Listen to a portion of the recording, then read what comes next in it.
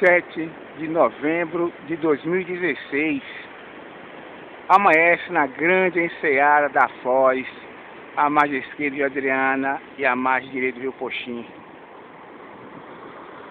4h40, está tudo bem na terra, sobre o sol que se anuncia neste novo amanhecer, rotineiramente.